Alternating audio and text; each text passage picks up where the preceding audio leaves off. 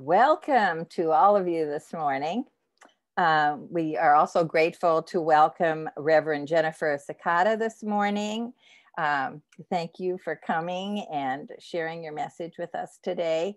If you'd like to read her bio, uh, it's printed in the bulletin after the service. Um, there will also be a service honoring our graduating high school seniors sometime in May.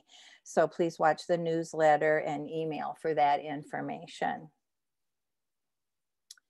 Now, if you would please join me in the responsive call to worship.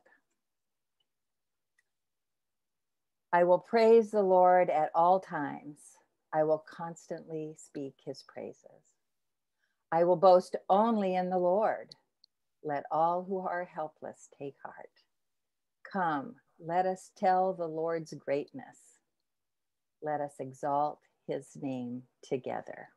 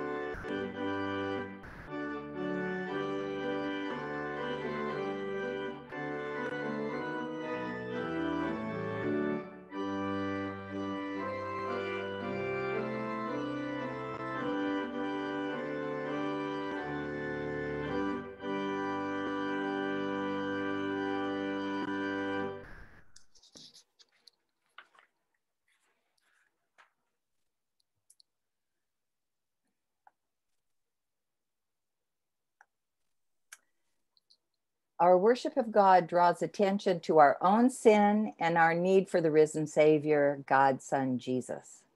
We go before the Lord as a broken and in need people. Let's pray together about it. Risen Lord, you are worthy of all our praise. You made a way where there was no way. You planted the light of your life where there was only death and darkness before. We often live in those places of darkness, even as your followers. Our distractions drive us far from your heart and your plans for us and the world around us. Jesus, I confess the darkness I choose rather than living in your light. You call me by name, but I shrink back to old ways that lead only to death. Please forgive me, Lord. Restore to me, Lord, the joy of my salvation and renew a right and right spirit in me. A marquee in town posted, A lot can happen in three days. That's what it took for Jesus to do the work of forgiving us then for our sins today. Three days. And you and I are forgiven and freed. Let us pray. God of the ages, you gave us the word that our lives might be shaped and formed by it. Holy Spirit, push aside any distractions that would hinder our listening or hamper our will to do and follow you. Speak, Lord, for your servants are listening. Through Jesus Christ, we pray. Amen. Our first scripture today is from the Hebrew scriptures in Psalm 34, verses 4 to 10. I sought the Lord, and he answered me and delivered me from all my fears. And just as a note, um, the word fears is also translated in reverence to or in reverence of in the Good News Bible. Let me begin again. I sought the Lord and he answered me and delivered me from all my fears. Look to him and be radiant, so your faces shall never be ashamed. This poor soul cried and was heard by the Lord and was saved from every trouble. The angel of the Lord encamps around those who fear him and delivers them. Oh, taste and see that the Lord is good. Happy are those who take refuge in him. Oh, fear the Lord, you his holy ones, for those who fear him have no want. The young lions suffer and want and hunger, but those who seek the Lord lack no good thing. Amen.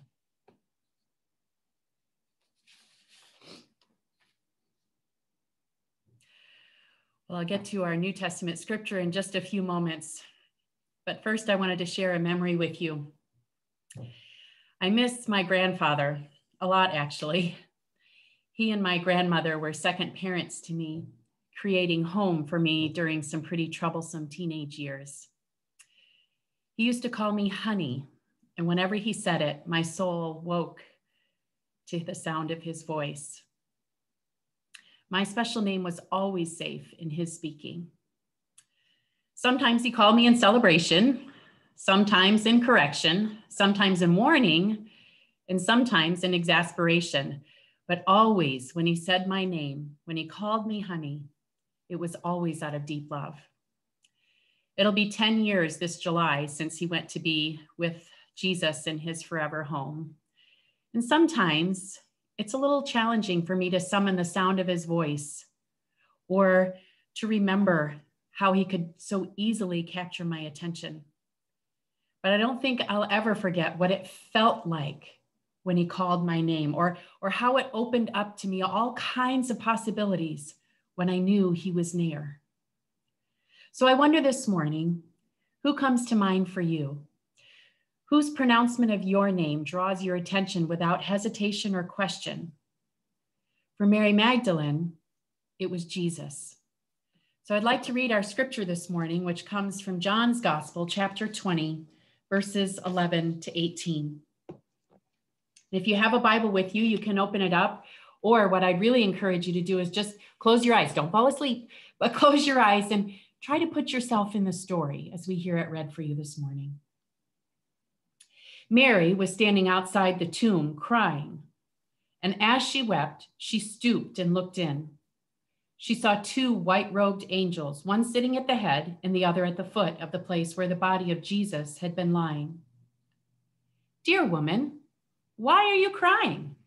the angels asked her. Because they have taken away my Lord, she replied, and I don't know where they have put him. She turned to leave and saw someone standing there. It was Jesus, but she didn't recognize him. Dear woman, why are you crying? Jesus asked her. Who are you looking for? She thought he was the gardener. Sir, she said, if you have taken him away, tell me where you have put him, and I will go get him. Mary, Jesus said. She turned to him and cried out, Rabboni, which is Hebrew for teacher. Don't cling to me, Jesus said, for I haven't yet ascended to the Father. But go, find my brothers and tell them, I am ascending to my Father and to your Father, to my God and your God. Mary Magdalene found the disciples and told them, I have seen the Lord. And then she gave them his message. This is the word of God for the people of God. Thanks be to God. Would you pray with me, please? Gracious and good and risen God, we thank you for your word that brings us to this morning.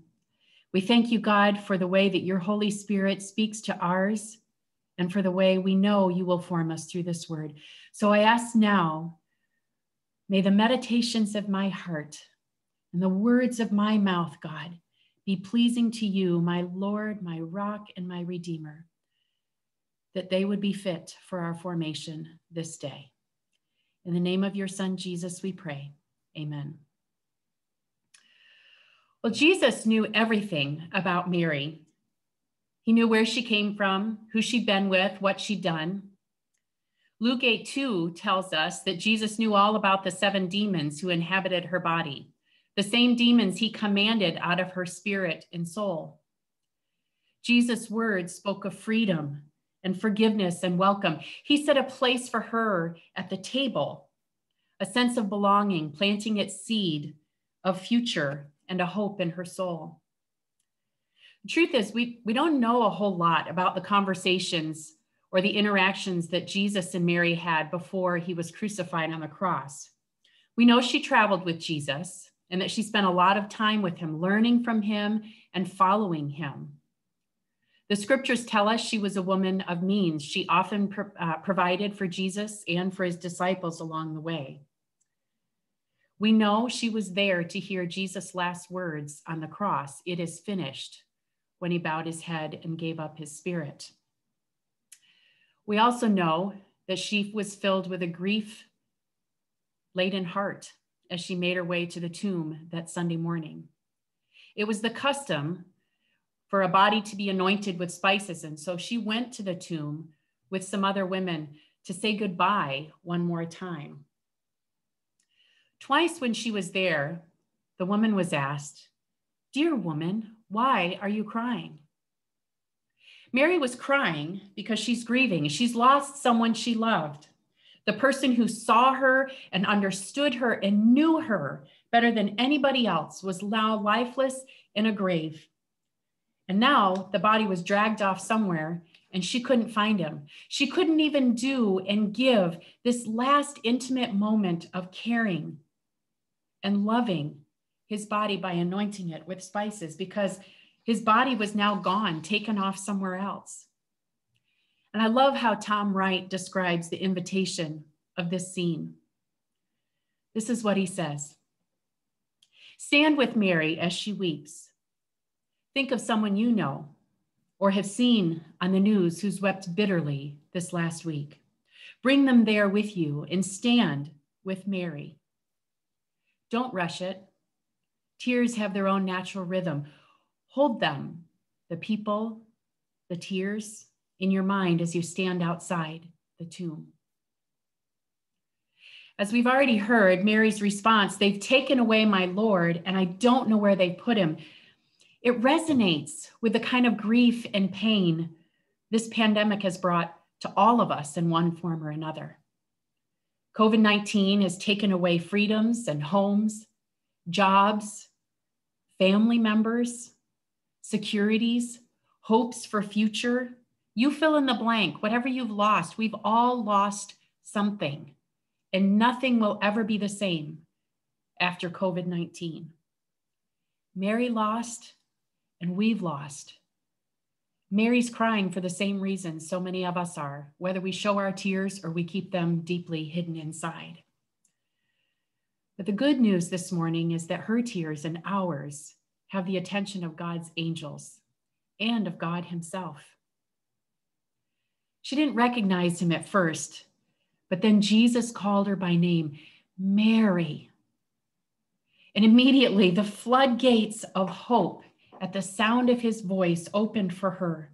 That somehow death and dying, goodbyes and grieving were all now redefined. Her mighty deliverer, devoid of life only a few days ago, now stood before her, fully alive and calling her name. It's warmth and welcome, the kind of warmth and welcome she knew before the cross left its ugly scars. It's consolation from a God who understands the size and shape of grief. I think it's also a gentle rebuke. Mary, remember I told you and my brothers this day would come. It's an invitation to a new and completely different life. All of these things rolled into one. Jesus stood before her, fully alive and yet completely different than anything they'd ever seen or known before. What I wouldn't give for another moment to hear my grandfather call my name. And yet, I think this passage this morning, it reminds us that that is exactly what God does for us. He calls our name over and over and over again. It's one more time, over and over and over again. Out of the depths and darkness of death, Jesus speaks your name and mine, summoning us to new life, infused with hope when it looks like all hope was gone. Ever aware of the days when we live our name well and the days we mar it terribly Jesus and the power of the Holy Spirit reach through places where hope is buried and awakens us to new life with unexplained, unexpected plans and a sure and certain hope. It's the promise of Psalm 139 brought to life and personalized for us this morning. Hear these words from the psalmist in 139. O Lord, you have examined my heart and you know everything about me. You know when I sit down or stand up. You know my thoughts when I'm far away. You see me when I travel and when I rest at home. You know everything I do. You know that I'm what I'm going to say even before I say it, Lord. You go before me and you follow me. You place your hand of blessing on my head. Such knowledge is too wonderful for me, too great for me to understand. Or hear this truth from Paul's word to the Corinthians in Second Corinthians chapter 5, verses 16 and 17. So we have stopped evaluating others from a human point of view, Paul writes. At one time, we thought of Christ merely from a human point of view. How different we know him now. This means that anyone who belongs to Christ has become a new person. The old life is gone and a new life has begun. I remember learning 2 Corinthians 5:17 when I was in youth group about the old life being gone and the new life coming. But I didn't learn until this week that verse 16 is actually the foundation for verse 17. The fact that the resurrection happened, the fact that Jesus went away and died and came back to life again, that's what makes this new life of mine and yours even possible. We can't have verse 6, 17 without Verse 16 God is doing a new thing, and it's voiced through the exclamations of a woman named Mary Magdalene who thought she'd lost everything, only to discover that her, her definition of everything was short sighted. But now, with Jesus standing before her, calling her name, everything meant so much more than she could ever have even imagined. So I wonder this morning where do you need the resurrected Jesus to call you by name and infuse hope? Maybe you're in a season of grieving. Maybe someone you loved died. Or perhaps it's a series of losses dotting the pages of your life and you don't know how to get it back again.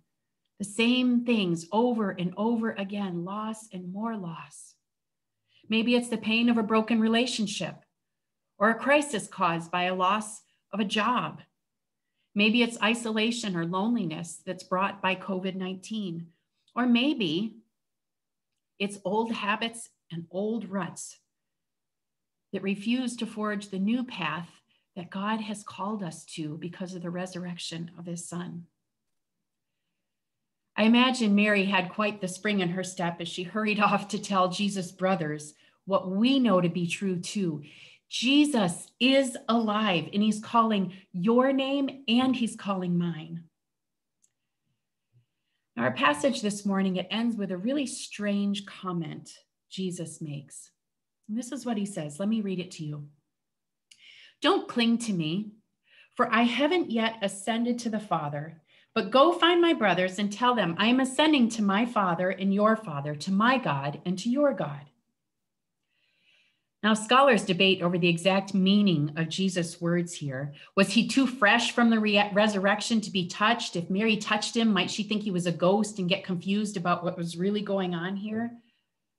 More likely, Jesus was instructing Mary in a new way of relating to himself.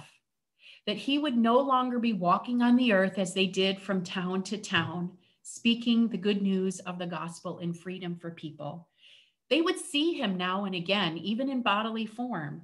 But that way of connecting and relating to him in physical form had completely changed after the resurrection. But did you catch the message that Jesus gave to Mary to pass on to Peter and James and John and all the other disciples? I want to read it again to you. But go and find my brothers and tell them, I am ascending to my Father and your Father, to my God and your God. Jesus' calling of your name and mine means we are never alone. And not only that, but we're now grafted into a family, a new family with plans and hopes and purposes we can't even imagine for ourselves. We can't touch the hem of Jesus' robe like the woman who was bleeding for 12 years touched his hem and was immediately miraculously healed. We can't grab hold of Jesus' hand like Peter did when we're sinking in the waters of our own doubts. We can't we can't close our eyes and remember the sound of Jesus' voice or see his face in front of us. We can't imagine the same way that those women must have as they made their way to the tomb that Sunday morning. But the resurrection and the calling of Mary's name proclaim to us in no uncertain terms that you and I are welcomed and understood and seen, not as strangers, not even as friends, but as brothers and sisters, a brother or a sister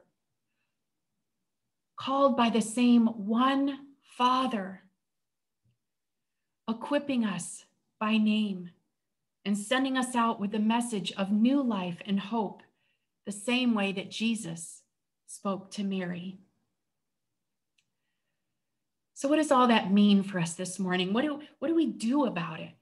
And I think the first thing is this I realize there are some of us here who may have grown up in the church and we've heard a whole lot about Jesus, but we've not yet heard Jesus call us by name personally. We've not yet allowed our souls to stand outside the tomb with Mary and have our name be called by Jesus in such a way that it has transformed us, our priorities, and everything we think is important to that which God reveals. There are some of us yet this morning who don't know Jesus personally that way. And if that's where you land this morning, if that's where you find yourself out the tomb this morning, then my invitation to you this morning is turn around. Hear our Savior Jesus calling you by name, forgiving your sins, and calling you into life you could not possibly imagine a life that's directed and led by His plans and His purposes, which starts with His forgiveness and leads to your freedom. The second thing I think this word calls us to this morning, if you've already made that decision to follow Jesus with your life, is to live into hope. This passage calls us to be a people of hope. Hope when we've lost someone we love. Hope when we've lost a job. Hope when we've lost sight of future. Hope when we lost the trust of someone we love and care about and we don't know how to get it back again. This passage calls us to hope when our culture is spinning out of control with violence and hatred. Hope when we exert our worst through apathy and ignorance. Hope when we've chosen to live our lives at the expense of someone else. What words do you use? What thoughts do you allow to flood your mind? For me, I spent a lot of time thinking about Philippians 4 8, another word from Paul this week. Do we allow the thoughts of our mind to be focused on the things that are pure and right, true and honorable, excellent and worthy of praise? Do we focus and fix our minds on those things or something else? Because living as people of hope require that we fix our mind on those things. Not to say, oh, don't worry and be happy. That's not at all what Paul was talking about, friends. He's talking about focusing our minds and our eyes on the things of God as he sees them, on people as God sees them. Hope requires that we live differently with lives that demonstrate the difference it makes that Jesus has called us by name. Which leads us to our third so what? What difference does this word make this morning? If God has called me by name, and if God has called you by name through his son Jesus in the work of the Holy Spirit, then he's also called our neighbors by name too. Who around you is God calling by name?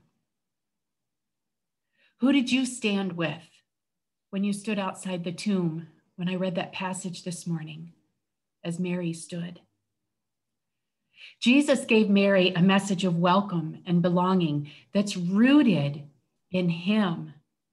And every day, you and I, we are surrounded by people who need the same invitation to come to the table, to hear and to feel what it's like for God to call their name with a purpose and a future? Who are those people in your life? Who are those people in your church? Who are those people in your community who need a place at the table? Go where they are.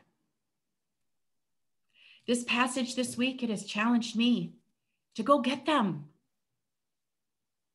to go and try to understand where they are, to go be with them and then introduce them to the one who called you by name and has made all the difference. Share the story as Mary did when she went back to the disciples who, okay, they were already followers of Jesus. But here's the thing she went back to them and she said, I have seen the Lord. And I believe that is the commission this passage is calling us to this morning to be men and women, sons and daughters who move out into our communities with the message, I have seen the Lord, and here's the, all the difference he's made in my life.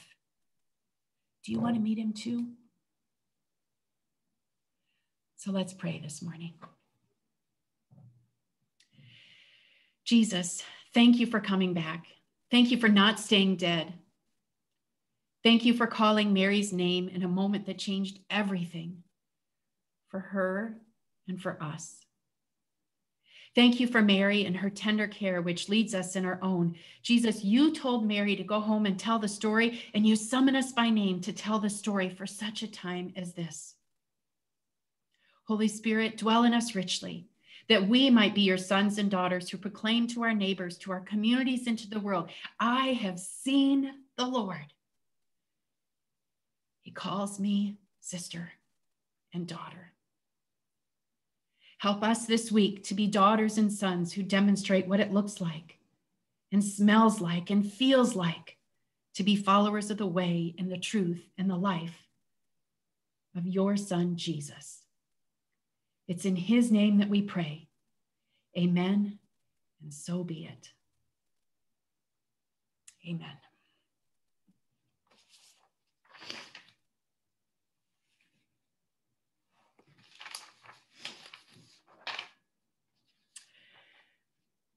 So, the song we're going to sing um, might not be very familiar to some of you. It's a song called In Christ Alone, and I invite you to follow along.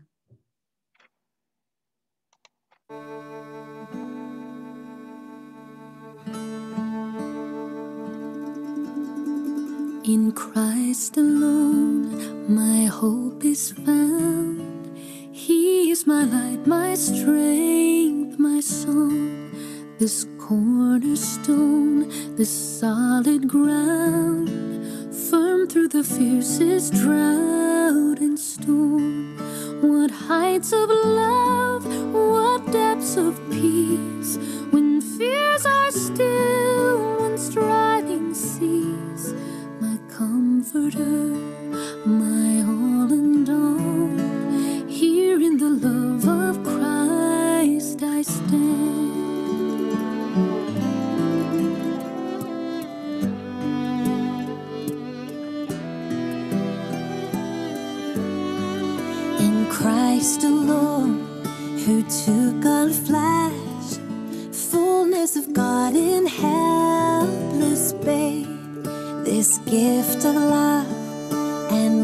and righteousness, scorned by the ones he came to save.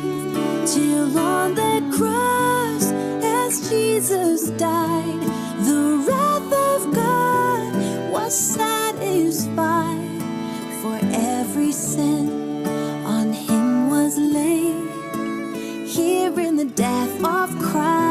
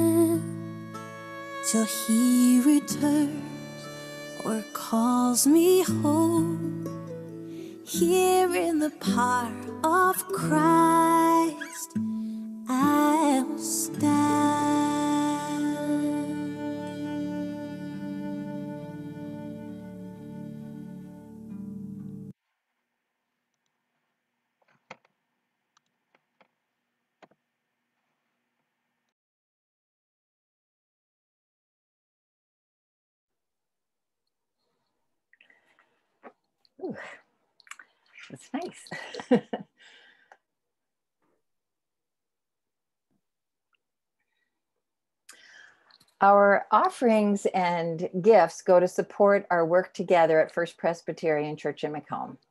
Thank you so much for your continued support as we share God's love in our community. If you'd like to give today, you can do that by visiting our website and clicking on the online giving button, or you can mail your offerings to the church. Again, thank you for your commitment of financial and prayer support. Now, please join me in the affirmation of faith that's printed on the bulletin. I believe in God the Father Almighty, maker of heaven and earth, and in Jesus Christ, his only Son, our Lord, who was conceived by the Holy Ghost, born of the Virgin Mary, suffered under Pontius Pilate, was crucified, dead, and buried. He descended into hell. The third day he rose again from the dead. He ascended into heaven and sitteth on the right hand of God the Father Almighty. From thence he shall come to judge the quick and the dead.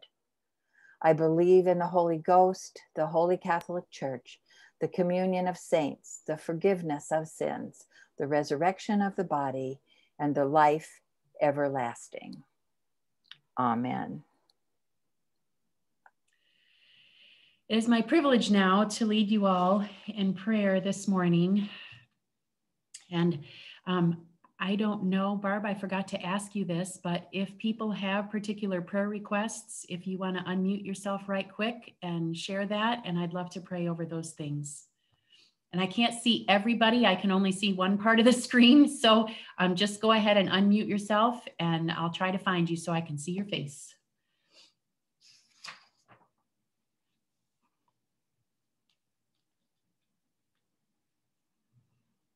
Okay, I know y'all need prayer because I know I need prayer, but I also know I'm not always the first one to throw out there what I need prayer for. So I'm going to pray and trust that the Holy Spirit will guide and lead my prayers this morning. So would you please join me in our prayers? Gracious and good God, again, we thank you that you make this even possible, that you call us sisters and brothers and not just friends, but that you've made us family this morning. Well, after the resurrection, when we chose to follow you. And this morning we proclaim and receive our status as your sisters and brothers. God, um, we each come carrying any number of burdens, the way that Mary and those women went to the tomb that day, all kinds of grief and loss, all kinds of things that trouble us and trip us up, things that cause us not to be the people that you want us to be and have called us to be. So, God, we lay those things at your feet. I pray for a real falling of your hope on each and every one of these, my brothers and sisters who are here this morning. I pray that your hope would rest on them in gentle ways and in mighty ways. God, rest your hope on us in the words that we speak and the thoughts that we think. God, that we would be a people who not only hear this word this morning, but that we would move outside of our homes, whether it's in the grocery store, encouraging some mom who's really struggling with her kids, or with the checker who's impatient with us and just can't wait for our order to be done. Whatever it is, God, help us to live as people of hope, especially in those places where hope is lost, maybe more serious places, more deeper places, more difficult places. God, as I was watching the news this morning, I would, or this week, I was reminded again of how filled with violence and hatred our culture is. God, we pray for families whose names came across the news this week who have lost. Whether it was their own doing or if it was the doing of someone else, it doesn't matter at this point.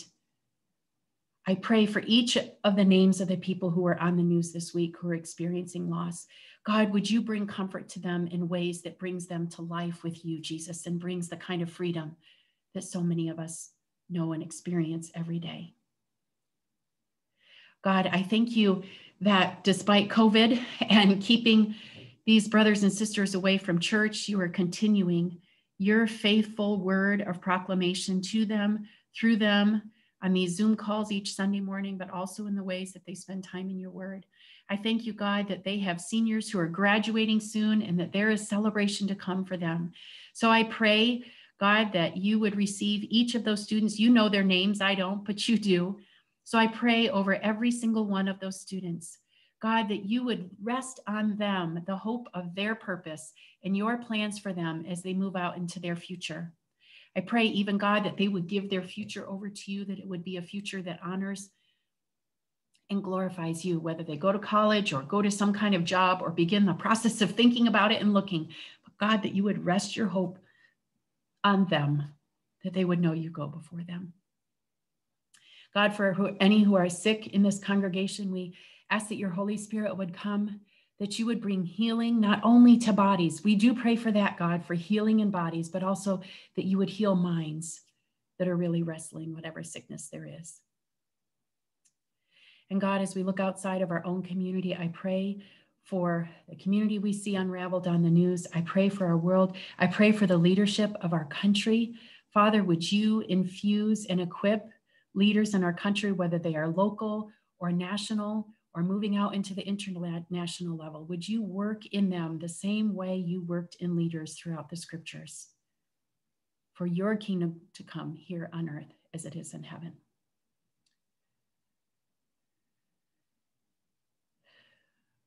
God, we pray now. As you taught your disciples, now brothers and sisters, to pray Our Father, who art in heaven, hallowed be thy name. Thy kingdom come, thy will be done on earth as it is in heaven. Give us this day our daily bread, and forgive us our trespasses, our debts, as we forgive our debtors. And lead us not into temptation but deliver us from evil. For thine is the kingdom and the power and the glory forever. Amen.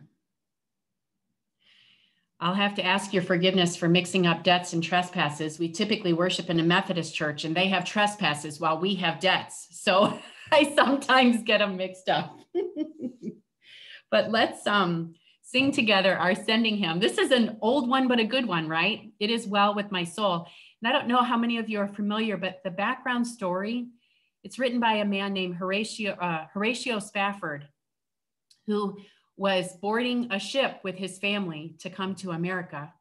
He sent his wife and the rest of his family, and he had to stay. I can't remember the circumstances. But the ship they boarded, it sank. And he lost most of his family. His wife, and I think one, one child sent a transcript after they had arrived. The ship sank. We alone survive. This song comes out of the journey of his heart, of his grief, but also the hope he was able to come to in the writing of this song. And he wrote it actually as he went out on a boat on a ship and found the place where the ship went down. And that's where God gave him these words. So I hope they will be for you, as they often are for me, an encouragement to allow God to till the soil of our souls until it is well with us, no matter what's going on around us.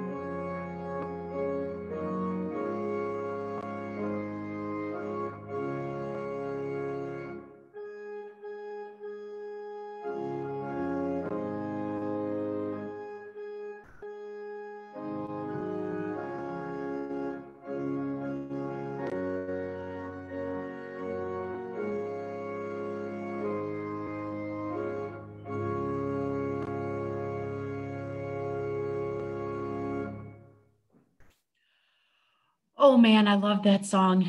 There's a lot of updated versions to that, but man, I love hearing it on the organ. Thank you so much. Oh, what a blessing, what a gift.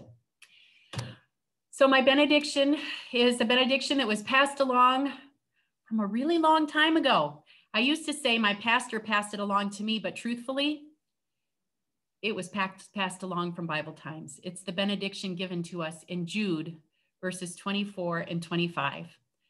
So if you would raise your hands or hold them in your lap, both as a symbol of your giving to God and of receiving from God, hear these words of benediction. Now, unto him who is able to keep you from stumbling and to make you stand in his presence with great joy and without fault. To the only God, our Savior, through Jesus Christ our Lord, be glory majesty, dominion, and authority before all time, now, and forever. Amen. Go and follow Jesus, friends.